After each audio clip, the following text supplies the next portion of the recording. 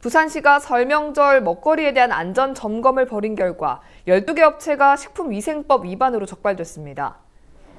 강서구의 한 식품 제조 가공업소는 거래 기록을 작성하지 않고 업체를 운영하다 적발됐고 중구의 한 업체는 위생모 미착용, 수영구 등에서는 업주와 종업원이 건강검진을 받지 않고 일하다 적발되기도 했습니다.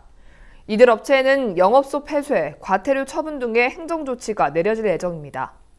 이번 점검에서는 떡과 한과, 전, 튀김, 수산물 등 시중에 판매되는 90개 음식을 대상으로 식중독균 등에 대한 검사도 실시됐으며 모두 안전성 문제는 없는 것으로 확인됐습니다.